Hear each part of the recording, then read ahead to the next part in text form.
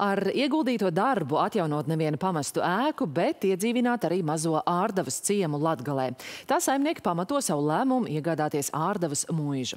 Kādam viņu ideja šķiet traka, taču īpašnieki to uztver kā iespēju izdarīt kaut ko labu un paliekošu, uz ko atskatīties ar gandarījumu. Ārdavas mūžā ciemojās Beatrice Borise no Latgals reģionālās televīzijas. Ārdavas, jeb citiem zināmu kā Jezufinovas muižu, latviete Maija un īrs Džeimijs iegādājās pirms trim gadiem, ieraugot to sludinājumu portālā pa 65 tūkstošiem eiro. Galvenais vaininieks šādā pirkumā bija Džeimijs, kuram ļoti patīk Latvija.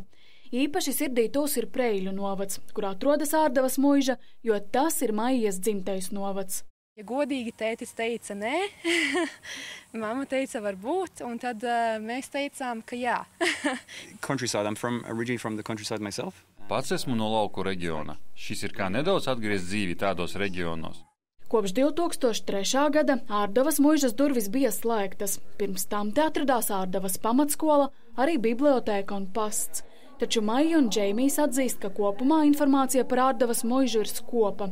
Zināms, ka tā celta 19. gadsimta 60. gados un piederēja mužnieku molu dzimtai.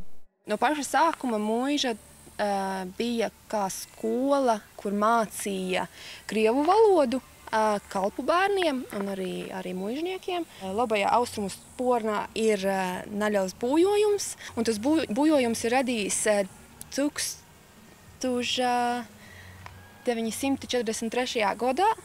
Eh, kad tika uzspridzināts vagons blokus dzelzceļa slīdēm. Tie bija kara laiki. Mums pagaidām vēl nav pietiekami daudz informācijas, lai mēs visu apkopotu un visu spētu izstostīt. Bet mēs esam priecīgi, ka mums cilvēki uzraksta, ka cilvēki da mūs attīt un pastosta.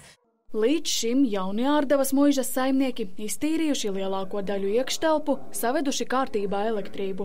Tie ir tikai pirmie mazie solīši mūžas atjaunošanā. Priekšā vēl daudz darba, bet vēl lielāks ir nepieciešamā finansējuma apjoms. Like year, year. Tas ir ilgtermiņa projekts. Tas nebūs gads līdz pilnai pabeigšanai. Ēka ir liela, un mēs tai veltam lielu uzmanību. Finansējuma piesaiste nav viegls process, jāatzīst. Un iespējams tādēļ mēs esam mazliet iestrēguši. Caur tādām mazām programmām mēs mēģināsim piesaistīt līdzekļus un, un atjaunot. Lai veicinātu ārdavas mūžas atpazīstamību, gan apkopotu tās vēstures liecības un stāstus, mūža iestājusies Latvijas piļu un mūža asociācijā, gan iesaistījusies akcijā Apceļo Latvijas pilis un mūžas 2023. Savukārt šo sestdienu ārdavas mūžā gaidām atvērto durvju diena ar dažādām meistarklasēm. Beatrice Borise, Vitālijas Duderenoks, Latgals reģionālā televīzija.